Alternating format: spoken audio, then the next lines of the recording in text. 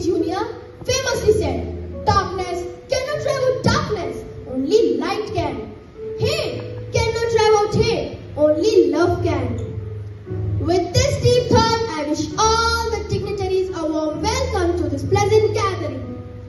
These words said by Martin Luther King Jr. resonate deeply when we consider our struggle against addiction. It signifies the power of transformation and recovery.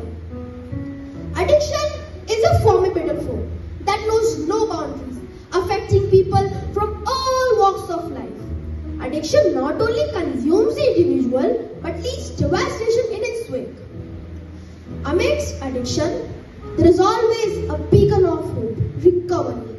Recovery is the journey of healing, redemption, and testament to the resilience of our determinations and abilities. Addiction kills our ambitions and dreams. It blinds us to the beauty of life and shackles us to our vices. But recovery gives life and offers them a second chance to rewrite the narrative and embrace a bright future. Rightly stated by Dr. Gabor Mate, a Canadian medical physician, in one of his interviews, that addiction is a complex psychological and physiological process where a person enjoys and finds relief and therefore craves in the short term.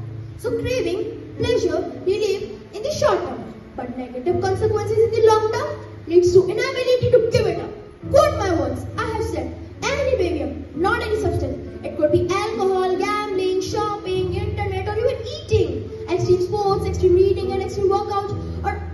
addictions.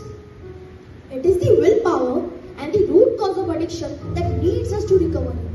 In order to recover in a better way, the person should find out the root cause of addiction. Let the person open up and accept it to recover quickly.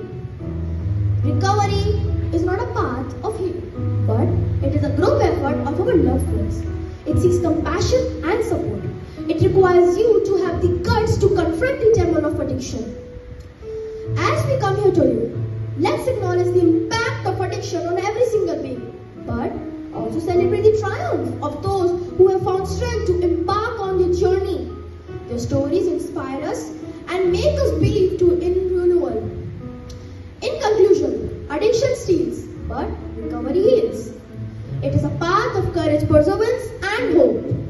Today, we shall take up the initiative of shining light to a path of recovery, guiding others to out of their future filled with possibility and hope. Thank you.